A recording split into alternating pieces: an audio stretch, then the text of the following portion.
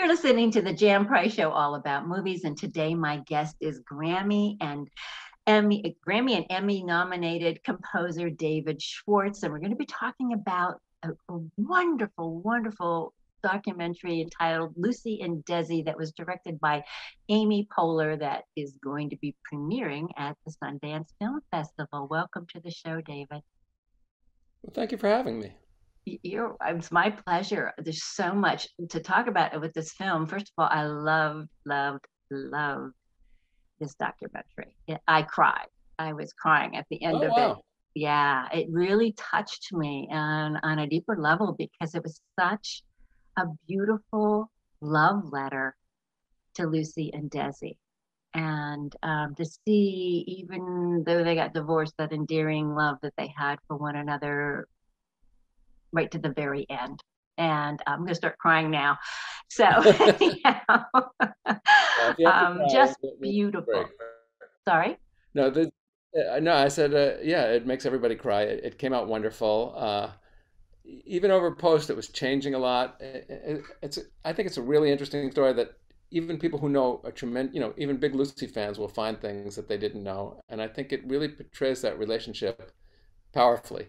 And and you're right. It, it's about the fact that the love lasted way after their divorce. It's very interesting that way.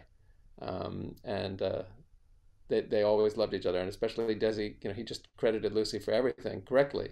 And you know, he was, all the things he did were amazing too. I don't know. I loved the story. I loved writing the music, and it was a great experience. You know. I want to talk about this because almost every section of the film had its own music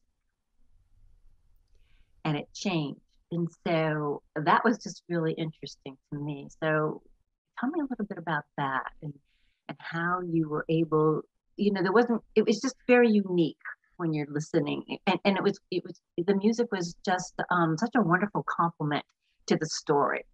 Sometimes the music can, you know, just really stands out and it almost can overpower, um, you know, a film.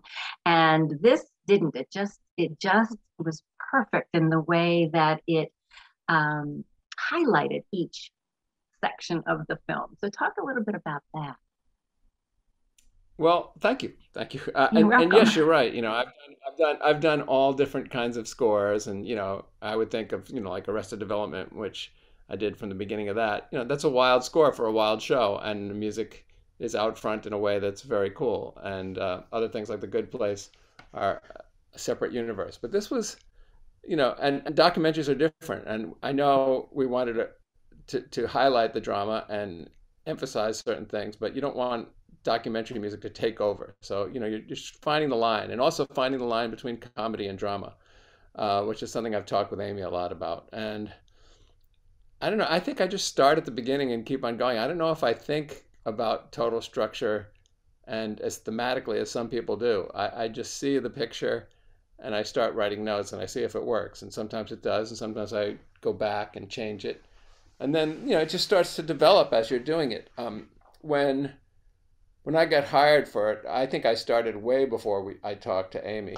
Um, I got hired by Morgan Sackett, a wonderful producer who's used me on a few things, and he's very close with Amy. And you know, so I just started ideas started coming into my head, and I started writing them so that when I would meet to spot the movie with Amy, I had music and it took a while to get there maybe three weeks or so that i was reading writing. And um, when she heard it she really liked the themes and chose some over others. But i still felt like there was a lot more work to do. Like she was saying she liked it but i felt like you know you have to hear it to really know what you're loving. And, and then we started to work together. And um, you know i'd send what i did every day to her and sometimes it would come back with notes and sometimes the next week there would be notes and I think we started to find it. And Amy had, I initially imagined it to be lighter, more comedy, but she really wanted to bring out the, the drama of the story. And so once I started to see where she was going, and uh, that really helped a lot. And then we started to have a sound, and I knew I was writing for an orchestra, so that was great. And we got to use a small orchestra, which is always a thrill these days and we got to do it here, not in Eastern Europe where a lot of scores are done. Nothing wrong with that, but I wanted to do it here with my players, so it it came out great. Uh, and I think the thing about the sections, I think that just sort of happened as, as I was writing and as Amy was giving notes and let's use this here and let's try this one here and you know she definitely had reactions to certain things like she didn't want like I love the Cuban music and I love Desi's Cuban music. So I thought there'd be more of that. And so you know each time she said oh, that's great. You know do we have to have the conga drums there? And I said well it was for Desi you know. And she says well let's wait. Let's wait until at least they meet which is later in the movie. And and when they meet we were allowed to use them just a little bit. So um, it was great to get to use that with the orchestra. Yeah I, and i love that. I love the conga music. And it, yeah. you know and it, it just gives you gave you a better perspective on on desi you know for for many people who don't know who he was and what he's about there's a resurgence right now obviously with being the ricardos also on amazon and this documentary i it's also going to be on amazon uh why do you think that is do you have any thoughts about that you know, you know how things just happen together in time, and I, I don't know if there was any plan there about that. I, I hear it being the Ricardos is great. I haven't seen it. I look forward to seeing it. It is. Um, it's very, very good. It, it is. Well, great, yeah. great. Yeah. Because, but also, I didn't want to do it while we were working on it, you know, and I still might need a couple of months. I ha- have a copy of it at home, and uh, I- I'll watch it. You know, it, it, I have to sort of separate those things. I didn't want to be influenced in that way. No, and no, no, no. I, I, hear it's great, you know. So it is. I mean, yeah, it, it is very it, different. I mean, that uh, from what I understand, being the Ricardos is one week in time and a very interesting week, and we're covering, you know, their whole careers and the meeting and and you know all the things that Lucy and Desi did for modern television and show business in general are amazing. I don't think many people realize that. Well, she led. They they led the way you know yeah. were the you know the groundbreakers and uh, breaking boundaries um, yeah. during that time period on all levels and um, yeah i think you would like being the ricardos after you see this too it's, they're very good compliments to one another actually so well, that's what we were hoping for. We when we, yeah. we started about it, we were hoping that, that people would see one and want to see the other. Oh, no question, no question about it. And it doesn't make any difference which one you see first to be honest with you. Um, either way, you could either either one because they are a wonderful compliment. I loved how this one obviously goes um, much deeper into you know everything. I mean, the archival footage that um, that they found. I mean, of her family back in Jamestown and all of that. I mean, who had kind of the, uh, obviously footage of her as an actress, but that older, you know, um, archival footage of her family and Ricky's family too. Yeah, that's amazing. Yeah. Truly, it is. So, okay, so you talked a little bit about with Amy. She gave you notes, and you went back and forth. What um, was there anything about working uh, on this that was unique and different compared to other projects that you've worked on before, David? Uh, every project's really unique. So, and, and if you think that, you know, it's like having children and expecting them to be the same, you know, it's not. they're all wonderful. So, so, you know, I thought after the first TV show I did, oh, it'll be like that, but it's not. It's different people with different goals and totally different music. And, uh, you know, it's great to come in there with a plan. I always do, but you also have to be flexible to change as it goes on. And I don't do a lot of docs. Um, the last one I did was the Hunter Thompson doc that Alex Gibney directed and was at Sundance. And so the docs I've done have been great ones. Uh, and I like to do them, and it's really fun. And Alex uh, on that doc really wanted very, you know, Hunter Thompson rock and roll, very forward, the kind of music that he was known to listen to and jazzy stuff. And so that was also not a typical documentary score. I don't even know what a typical documentary score is.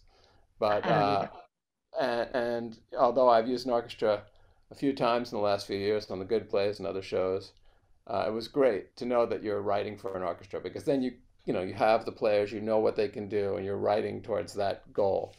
Um, it's, it's a very different feeling for me as a composer to know that I'm writing for an orchestra rather than a small ensemble in my studio. And whatever I'm doing, I try to use as many real players as I can.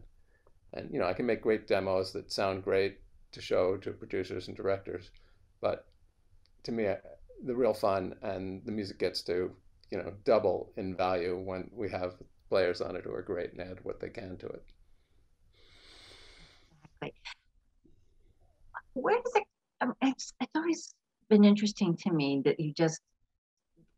You said you had some music before you even met Amy, um, for this project. No, well, let me quick. I, I I've known Amy before. I I um I like to say I acted in her movies. I I I I'm in Wine Country, in the opening scene, and I have one line, and I I well, anyways, it was, great, and I, I, have I've met Amy at different things. You know, she did Arrested Development, and uh, anyway, but I, I certainly spent that a uh, couple of days in Napa Valley on her. It was the most fun. She had the greatest crew and the nicest people, and uh, we worked hard, and it was beautiful up in Napa. And you know, I brought a little trio there, and we you know we play the part of a band, uh, but uh, it was really fun to do that. But what I was saying is, before meeting with Amy, and it was not music that I had. It was music that I'm now trying to create themes before you know I actually got the picture. I just don't like to walk into a room with nothing, and I, I, I even if they're going to say, "Oh, that's totally wrong," can we try this? At least we have something to talk about, or we like this part, but we don't like that part. So, so if that's what you were asking, I was saying I like to write some themes before uh, anything starts, if I have the time. Very often, you start and and you're working the next day and meeting the people. It just you know the schedules can really vary wildly. But I like to have a little extra time just to start thinking of ideas. So on um, this one, so once did you start getting pieces of the documentary and then you wrote music for it, or were you already aware of where she was going and you already had some things in your head? How did how what's your process? How do you create really, what you I create. Really didn't have, Amy was not available. I think she was out of the country, so we really I didn't have any anything. I didn't have the video yet, and then I think I can't remember the timing, but maybe after a couple of weeks of me writing just in my head to nothing, which is a different experience than writing to picture. Mm-hmm. Uh, I got the picture, and then I started to write to the picture, and it was a very rough cut. So you know they they always tell you don't you know, don't use these timings, but you still have to time it out, even if it's a rough cut. And then I think we got two more cuts after we had spotted. So, you know, we got together to spot. Um, I've told this before, but, uh, you know, it was a pandemic. We're in, a, in uh, an editing office in, in Beverly Hills, and there was a power outage uh, right after I got to the editing room, and a- Amy was still uh, not there, and, and the elevators wouldn't work and she just says, "Well, I'll just go up the stairs." And then she calls us back five minutes later, and the, and the building owner had come out and would not let her use the stairs, claiming that stairs were dangerous. Oh my goodness! she finally, kidding. when he wasn't looking, snuck up the stairs. we had a very short meeting because the first hour was, uh, you know, it was, it was a kind of Lucille Ball story of her trying to get into the editing office, and then I think we had an hour and a half together. So you know, for that's not even the length of the movie. So so. It, there wasn't a lot of you know getting together in person because of the pandemic. I was going to ask you. I, I really encourage it. I like to go to meetings. I like them to come to my studio. Whatever, however it works, the more FaceTime you can have is great. But we did that with Zooms and phones, the way people are doing now. Right, right, right. I was going to ask you if you did this during the pandemic. I was assuming you did. Uh, yeah, it's all Zoom now. Uh, in fact, this was the only meeting I've had in the last since the pandemic started that was in person. That one meeting with Amy, which was broken elevators and shortened. I think um, this is the way we're going to be doing everything from now on.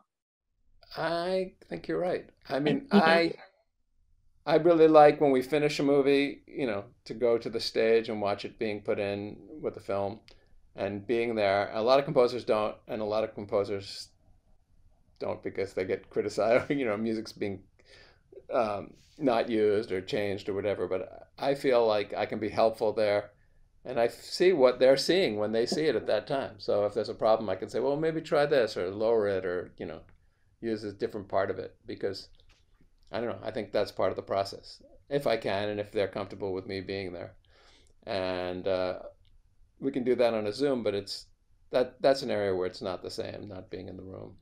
Hopefully, we'll, maybe it's going to become a combination. You know, the Zoom will shorten the time. The time. I was there. You Sorry. lucky. I said when we when we recorded the orchestra in El Segundo, um, yeah, I was there, so that was great. And you know, if it if, if it had been now, you know, the current Omicron situation, we probably would have had to do something else. It's you know, no, this film is premiering, as I said, at Sundance I believe it's coming up. Uh, and will you be doing Zoom interviews for that? I guess this is one, and yes, and I did one with Amy for BMI, which was great. And uh, yeah, you can really when you have Amy on the interview, you, you you know you're just covered. She's just so good at it and so funny and and just a really nice person. Uh, so yeah, we both Amy and I had been planning on going to Sundance, and I haven't been in a few years, and um, it would be great. You know, it'd be fun to be there in the snow, but it was also a very packed environment of people, and I think they made the wise decision to make it virtual one more year. I agree with you. I know. I, I agree with you. I'm but it is really a fantastic thing to be there. It is. It is. It's it's um, well. I, I lived in Salt Lake City for seven years, and the seven years wow. that I this is before I was doing what I'm doing currently. It's a long time ago, and I volunteered for the seven years for the Sundance Film Festival. So, you know, I've always loved going there and being there, and then I moved away, and you know, I've been going back for quite a few years now. You know, in this. Well, I'm losing you a little bit audio wise oh, somehow. Okay. You know, and you're not coming out. Can you hear me now? I just hope what you're recording is good. You know, yes, I can. I hope so too. well, the proof will be in the pudding afterwards. We'll see. I feel like take. I'm super hot. I'm watching it, actually watching this monitor, and I'm super hot, and you're very light. So hopefully it will turn out. I'm cold. Uh, but you must have had that experience because I, I a long time ago lived in Woodstock, New York, and then there were times where all the tourists came in. So you must have, you know, Salt Lake City is probably quiet most of the year, and then ski season and then Sundance come. It's a very different experience. It is. It's a it's a great city. I love Salt Lake City. I actually worked for the Olympics. So, oh wow! The 2002 Winter Olympics. That's why I was there, and and uh, that's why I was I was a volunteer in my off time. So yeah, that's so, so very exciting time to be in Salt Lake City. So. Hmm very much that. But I love snow and I miss the bad weather. I'm from the East Coast originally, so I do like the bad weather. I, you know, I'm looking at all these uh, blizzards and I'm going, oh my God, I love all of that. I wish I was there. People go, are you crazy? See, I, am from New York, but me I too. Where in New York? I lived right down in Manhattan. Uh, you know, I was born in New Jersey, so New Jersey, New York, Connecticut. I studied film and acting in New York a million years ago. So wow, yeah. I miss I, New York. I, I, don't want to live there in the winter. It doesn't look, you know. I, that, you know, I wouldn't want to be there for all the time, but it's fun every once in a while. That's why I like going to Sundance. At least you get your snow fix, you know. Yeah, yeah, that's beautiful there. It is. It is a beautiful place. For you, what was the most difficult um, filming when you were writing the music for this? Was there a section of this film that you really had some difficulty finding something that you uh, you created that you really loved or didn't like, or did you have what what issues and problems did you have while you were trying to create the music well, for this? I, I forget film? so fast; it all seems easy now. But I'm sure no, there was a lot. There was a lot of music, and it was changing. And then uh, at the end, we added more places for music. So just getting through it and make it all that it felt consistent to me. And I was going back and trying to make things more consistent. And then there was, you know, the, the, the first thoughts were like, oh, let's make music of the 50s and Cuban music and, and, and that kind of thing. And then Amy really wanted it to be modern, and she that was totally correct. So, you know, except for a few places where it was great to have the older sounds, I started modernizing it. It took a while to find, you know, it couldn't be over the top modern. You know, it just had to sort of be timeless and, and classic. And, and that was her call, and it went the right way and Robert, our editor, was a great help. Um, and yeah, it, it's kind of you're in a bubble, and you know I'm here in this studio, which is lovely and has light and all these things, but I, I pretty much it was a lockdown in the studio for a couple of months, and you know if you give me more time, I'll just keep on working until the deadline happens. And uh, I remember about two days before the orchestra, I said, okay, that's it. I got to stop because it has to go to the orchestrators and then you know to the copyist and that's a great thing about an orchestrator because the composer who's you know working around the clock until that point then you have to hand it off and you kind of have to pull back and it gives you a minute to think about it before the orchestra comes and if you're conducting the orchestra which i didn't you know then you're still under pressure but you know i could just sit back and, and hear things and make changes from the control booth and that's that's a wonderful feeling you know and also i have a great Lucas Richman was my conductor. He was also my conducting teacher years ago, and um, he's my favorite. And he lives in Maine year round. He conducts the Portland Symphony, and uh, so I called him. I said, "Is it possible?" He says, "Oh, I'm coming in that week anyway." So you know, it was great that it worked out that I had him for that week, and so you know, things like that come together, and uh, and having all my favorite players was was really I don't know, it's just a treat to most composers that when we get that. And you know, LA has a great variety of amazing players and so yeah. that's one of the things about living here that I love. Did, once you started the recording process, were there things that you began to change at all once you start or the orchestra and you go, well, wait a minute, that doesn't sound exactly what how I had it in my head or what I was thinking. Did I? Did you go back and revise anything? It, it, for a film of this size, it's pretty much you get one shot, you know.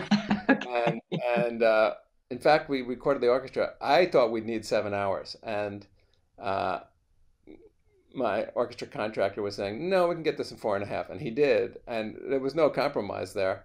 Uh, and uh, and and then you know while you're mixing, you're still shaping it and stuff like that. So it's maybe three days of mixing it in there, but I, there was no rewriting at that point. But it might be, oh, you know, we don't need this extra part here, that kind of thing. Uh, you know, if I had a bigger budget and a longer time, I might want to experiment and, and do things like you're talking about. But it, it was not an option this time. I had to well, it turned out beautifully, the whole film. And obviously, the music is what evokes the emotion, you know, when you're watching a film. And this certainly did uh, evoke, you know, deep emotions in watching it. And it was, it, it just really is. It's a, a, a everybody, please. Um, Amazon Prime, go find um, Lucy and Desi for sure. What do you find is that you've worked on a lot of television shows, as you mentioned, Arrested Development, The Good Place, many, many others, and you've been nominated for Emmys. What's the difference for you in creating for television versus uh, doing documentary work or film work, other film work? Uh, you know, I used to think there was more of a difference, but now I'm still, you know, sitting here writing. There's a picture in front of me, and I'm creating music. And you know, hopefully, you get more long form thematic music in a film. Um, and each film is totally different. So I don't find the differences to be that great. What what well this the TV has one advantage. If you do three seasons of something, you know, you get to keep on coming back of it and, and developing it. And and that's, you know, just the nature of TV. So you get to do that. And when it, when the season ends, you still have that job going on, and that's a nice thing. When a movie ends, it's like, well, what's the next thing? Uh, and and that's different. But there's some depth to movies that you know still is special to that format. So I, I enjoy both. Uh, you know, I like to say, you know, uh, is it good? Then I'm into. You know, if it, well, you've worked on some great um, projects. Great I've been projects. really lucky, really fortunate. I think because the first thing I ever did as a mere child was uh, no, I was already an adult. Uh, was Northern Exposure because it's such an unusual show, and the way we did it was sort of like there's different music every week. So I got to sample something every week, and and it's just the way that show came out. And and the seventh episode or the eighth episode, I did a big orchestra. Uh, and probably the biggest orchestra I've done to this day. I think we had 68 players or something like that. And um, and Josh Brand, who created Northern Exposure, came to me and says, "Have you seen the episode?" And I said, "I'm coming in to see it right now." I passed him in the hallway, and he goes like, "Well, we need a really big orchestra, like 150 players." And I said, "Josh, that's you know, I'm not an expert in this yet, but you know, that's too many." Uh, he says, "Well, then get as many as we can." and that was a fantastic, you know, it, it scared eh, you know the life out of me.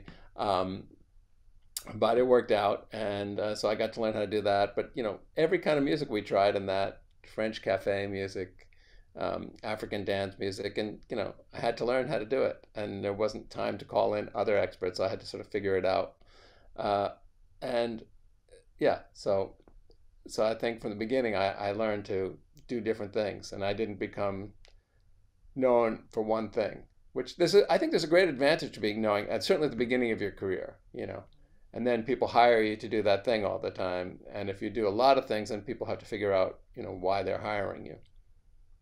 And but but most projects change. You know, I I've gotten hired for numerous TV shows. Oh, this is going to be really edgy and dark, and you know, the second piece there's a sentimental piece, you know, a love theme that has to go, and so you have to be able to do both, you know, or do everything in a way. But you know, hopefully you bring your style to it, and it changes the show. There's a, there's a great reaction between what's happening on film and the music, and they influence each other after a while. Oh, David, I have so many more questions, but unfortunately our time is up. So I just thank you so much for being on the show, and uh, I look forward to having you back again. You know, well, I would love that, and this has been fantastic, and uh, I'm excited for the movie to premiere, and uh, hopefully we meet again soon. Definitely, definitely. So again, thank you, and again, everybody uh, seek out Lucy and Desi on Amazon Prime. It's it's just a beautiful love letter, as I said, to Desi and Lucy.